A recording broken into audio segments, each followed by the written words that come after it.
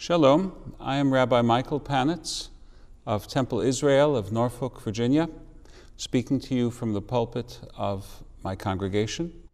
And with this message, we begin a new season of weekly messages based on the Torah, based on our sacred scriptures. Today's message is known Owning Up to Losses. Thirty years ago, the end of July 1992, I preached my first sermon at Temple Israel. The Torah portion at that time was the same as the current one. Then, as now, I was drawn to the story told in the book of Numbers, chapter 32, of the two tribes of Israel who traded their promised inheritance on the west bank of the Jordan River for the territory of the Golan and the east Jordanian side of the river. Now as then, I see the story as a testimonial to the growing maturity of the Israelites. Instead of just complaining, of alternately idolizing and reviling Moses, of indulging in idle wish fantasies, those Israelites made a reasoned presentation of their needs, heard the objections posed by Moses, and met those objections with a generous counteroffer. Here's the story. The tribes of Reuven and Gad were cattle breeders. The Golan country is good for cattle. Having unexpectedly come into possession of that country, when the Israelites fought off the attacks of Sihon and Og, kings of the Amorites and of the Bashan. The two tribes wanted to settle there instead of on the west bank of the Jordan River. Moses responded to their request angrily. He thought that they were repeating the historic mistake of the previous generation and refusing to fulfill their destiny of returning to the promised land of Israel. But they assured Moses that they supported the national project of settling the land of Israel. They themselves would fight in the vanguard on behalf of their brother tribes. They would stay in the field until all their kinfolk had been successfully settled and only then return to their chosen territory. Moses accepted their proposal, although with a certain amount of ungraciousness.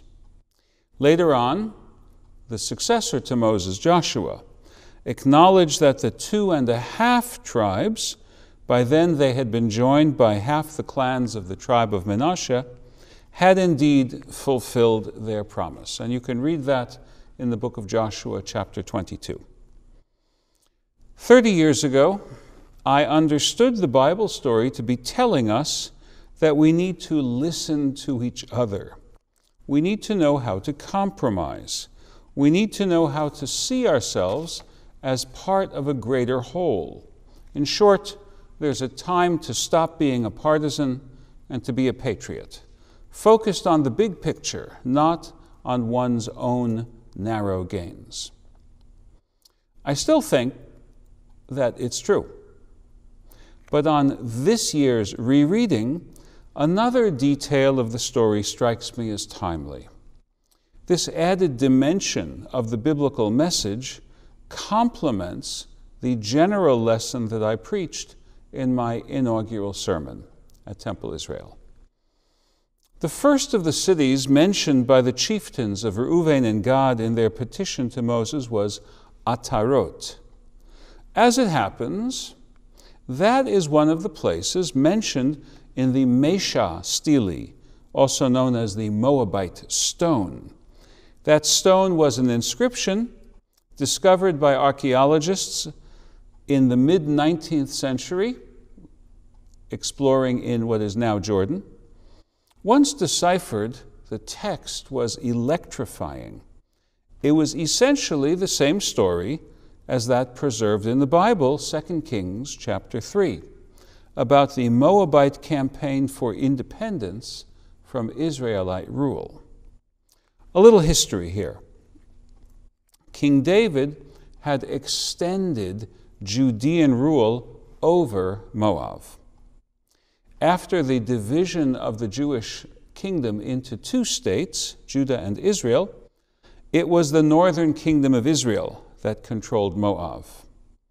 Some decades later, the Moabites, under their king Mesha, rebelled against Israelite rule. The Bible tells a strange story about the combined armies of Judah and Israel attacking Moab to remain in control over it, but failing at the decisive moment when they were besieging the capital city.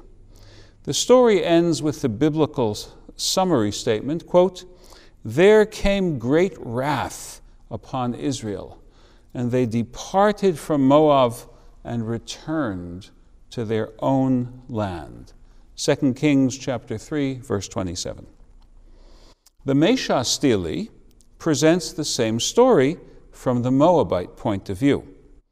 Although there are some discrepancies, it too tells much of the story of the successful Moabite campaign for independence.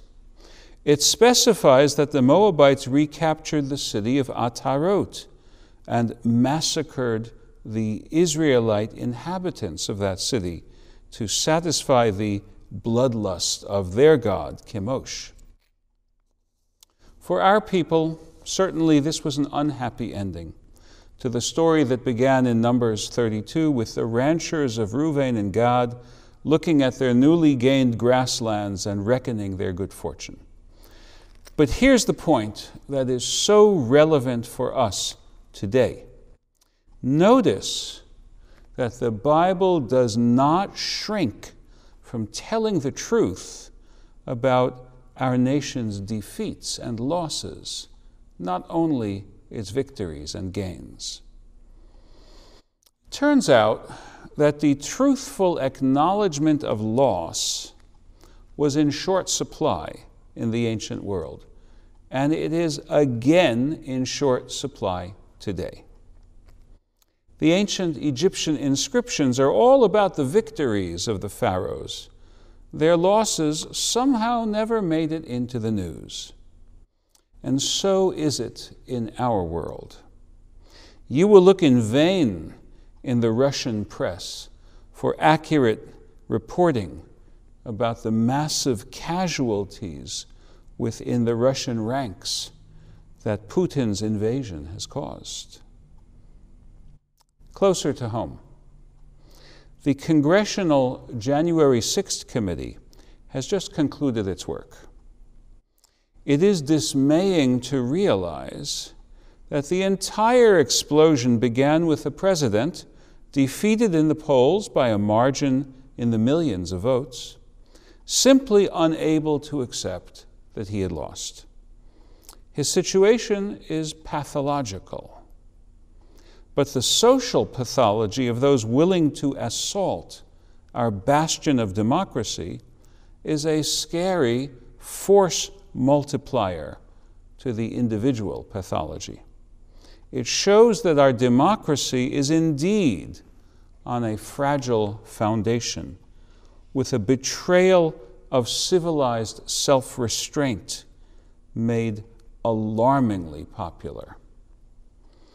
I remember the 1960s Gene Raskin song, Those Were the Days, My Friend, made famous in Mary Hopkin's recording. Maybe you remember these lyrics. We'd live the life we choose, we'd fight and never lose, for we were young and sure to have our way. It is time for our citizenry to put away the immature illusions that were at the heart of the assault upon our democracy. In the real world, you do not fight and never lose. Sometimes you win, and sometimes you lose. The Bible knows that. It tells us that instead of replacing reality with a fantasy world of resentment, blame, and ultimately aggression, We need to learn from our losses. The biblical book of Kings was written in exile. The priests who edited it understood that the centuries long experiment of kingship had been a failure in ancient Israel. Because we had lost sight of the values that are expressed poetically in the metaphor God is our King. Those priests and authors understood that God's teachings had been right for us, they were still right for us, and that by returning to them, we could yet hope for regeneration. That is my prayer for my fellow Americans. Understand that the blessings of democracy require maturity and civic virtue. Understand that your favored candidate may win or lose, but that if democracy loses, we all lose. Thirty years ago, I saw the Bible story as a useful lesson. Today, I see it as an urgent wake up call. May we hear the summons and heal the wounds in our body politic. Amen.